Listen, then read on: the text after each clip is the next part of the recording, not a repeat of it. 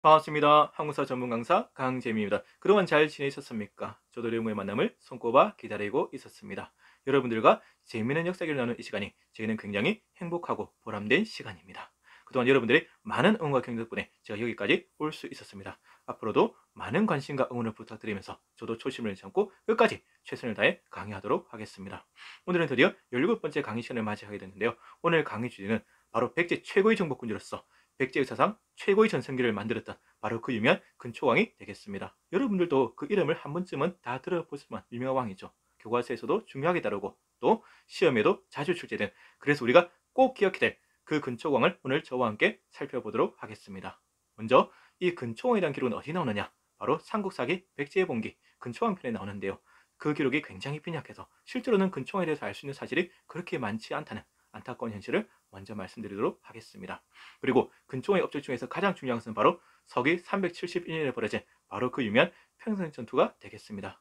이 평생 전투가 바로 삼국시대 초반에 판세를 갈랐던 점에서 굉장히 역사적으로 중요하고 그래서 시험에도 자주 출제되는 편이거든요.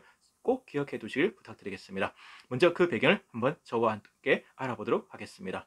고구려의 미천왕이 서기 313년에 어, 낙랑군을 몰아내고 서기 314년에는 대방군을 몰아내게 됩니다. 물론 이 낙랑군의 위치에 대해서는 현재 학계 논란이 있다고 제가 미리 말씀드린 적이 있습니다. 그렇지 않습니까? 현재 뭐 주류 사학계, 강당 사학계에서는 대동강 일대수를 주장하고 또 민족주의 사학이라든지 제하 사학에서는 요동이나 요서 일대설을 주장하고 있는데 결론이 나지 않고 있습니다. 그래서 저는 일단 주류학계의 정설이 또 통설인 어, 대동강 일대설을 받아들이도록 하겠습니다. 아무튼 이 미천왕이 낙랑군과 대방군을 연이로 몰아내면서 어디까지 황해도 지방까지 남하게 되는 것이죠. 백제로서는 큰 위협을 느낄 수밖에 없습니다. 게다가 그 미천왕의 아들이 바로 그 유명한 어, 고구원왕인데 이 고구왕이 아버지 위지를 이어서 계속해서 백제를 압박하면서 남하 정책을 펼치게 됩니다. 물론 근초공은 이를 연이어 격파했지만 위협을 느낄 수밖에 없죠. 그래서 근초왕이 드디어 결심하게 됩니다. 어떤 결심이죠?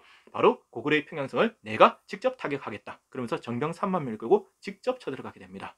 어, 당시 백제의 인구라든지 경제력, 군사를 볼때 정병 3만 명이라 하면 백제의 거의 전 군사력이라고 볼 수도 있겠습니다. 물론 고려도 가만히 있지 않겠죠. 당시 고구려의 왕이던 고구랑이 직접 대군을 끌고 평양성으로 내려오게 되면서 바로 그 유명한 서기 371년에 평양성 전투가 열리게 되는 것입니다.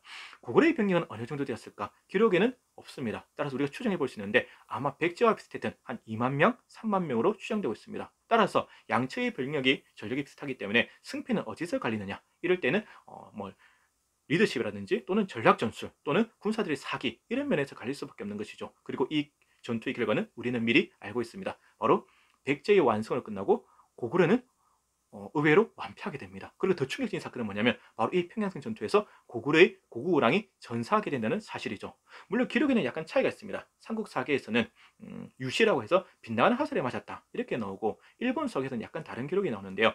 백제의 태제였던 금구수왕이 직접 고구려 진영에 떨어 들어가서 바로 고구원의 목을 잘라서 장대에 걸고 왔다. 뉘앙스가 완전 다르지 않습니까? 삼국사계에서는 빗나가는 화살에 맞았고 일본석에서는 어, 백제의 태자 금구상이 직접 목을 베어서 장대에 걸었다.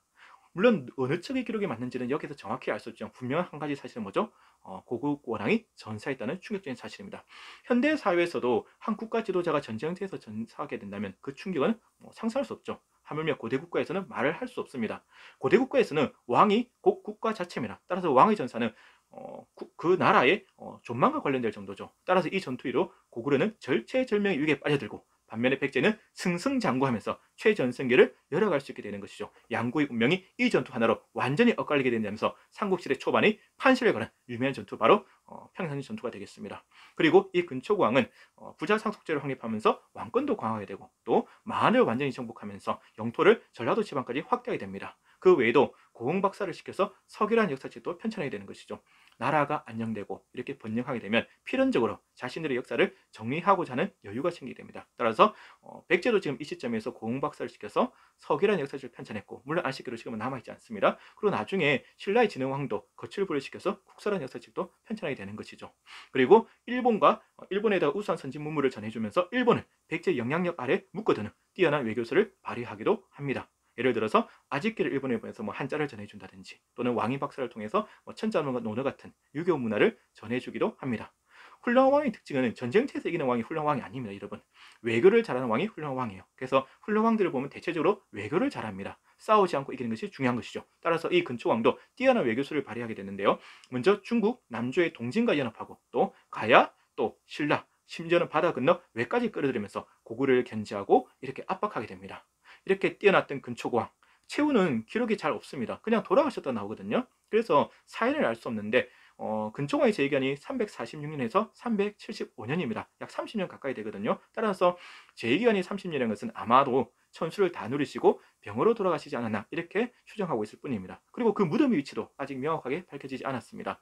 서울 석천동 고분군에 있는 그 사모분이 근초공왕 능으로 이제 추정되고 있는 것이죠. 여러분 아시죠? 서울 송파구 잠실에 가면 석천동 고분군이 있거든요. 이 무덤이 어, 어, 한성식이 백제의 왕래인 것은 명확한 사실입니다. 왜냐하면 무덤의 위치 이런 것 규모들을 봤을 때요.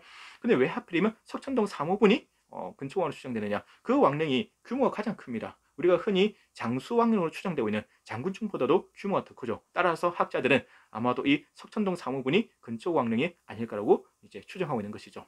자, 근초왕에 대해서 모르는 부분들이 너무 많습니다. 그래서 앞으로 더 많은 사로 발굴과 더 많은 연구 활동이 이루어져서 이 위대한 군주, 백제의 최고의 정복 군제장, 백제의 최전승을 열고 나아가서는 백제 역사상 가장 많은 영토를 확보했던 이 근초왕에 대해서 많은 사실들이 밝혀지기를 간절히 바라봅니다. 여러분들도 이 백제와 고구려에 대해서 더 많은 관심을 가져주기를 부탁드립니다. 우리는 너무 신라사 위주로 공부를 했어요. 신라사 중심의 사관을 가지고 있는 것이죠. 승자였던 신라보다도 패자이긴 하지만 위대한 역사와 위대한 문화를 가졌던 이 백제나 고구려에 대해서 더 많은 관심을 가져주시기를 부탁드리도록 하겠습니다. 여러분 오늘 강의는 여기서 마치도록 하고요. 앞으로 더 좋은 강의로 여러분들을 찾아뵙도록 하겠습니다.